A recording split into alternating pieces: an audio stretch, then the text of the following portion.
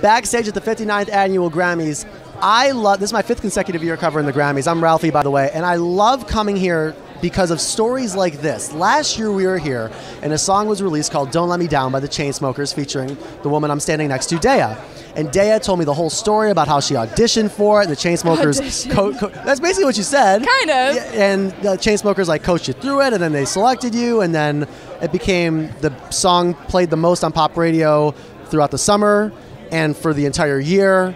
And now it's up for best dance record. Now we get to say the Grammy-nominated Daya is here. Woo! How you feeling? Uh, pretty wild, pretty crazy. Um, nervous for Sunday. Okay. Um, do you have the whole ticket situation handled and everything, or no? The ticket situation. Like, do you know who, like, who's coming? I'm bringing my fam. I gotta bring my fam. My mom is here already, and my sisters are coming later this week. Awesome. Oh, Yeah. sister! I didn't know you had multiple sisters. Yeah, I- you I- met I the one. You I met, my Rachel. older sister. Yeah, Right, yeah. Okay. And I have three other sisters. Oh, she's your little sister?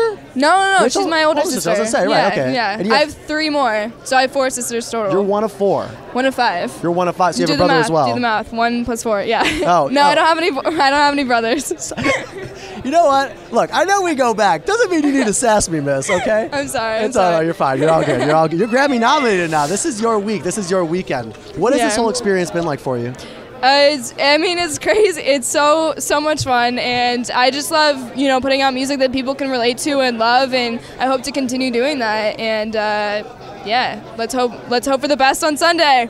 Of course, best dance recording. Now, wait a minute. Did they move that award to the main show, or is that still a part of the pre-show? Are It's they- part of the pre-show. Okay, so you got to go Boo. to Microsoft Theater, I believe, right? yeah, okay. yeah. So, I, so Which is still great, but right. yeah, Well, it's, it's webcast though, at least. yeah. So people can can go can online see and, it. Yeah, and yeah. check it out. Alex and Drew are going to be there as well. Yeah. Okay, mm-hmm. great. So it's a long day for you guys. Yeah, it's gonna be fun. I mean, it's the Grammys. I'm I'm willing to get up early for the Grammys. When we sat like pretty much in this exact spot a year ago, and you told me about "Don't Let Me Down," did you ever think a year later you'd be back here nominated?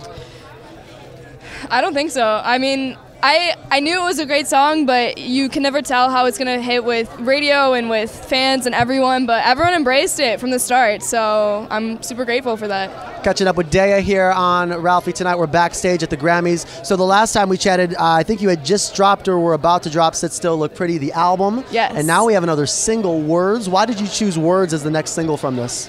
I chose words because I felt like it was the best direction for me musically. I felt like I was kind of le- going more into the electro pop lane, and uh, and a lot of my other songs were like straight up pop, and I kind of wanted to bring in the electronic elements. It has a really super dancey production in the in the hook, so. I really loved it, and uh, it was just kind of that simple. I just went with my gut, and hopefully people like it too.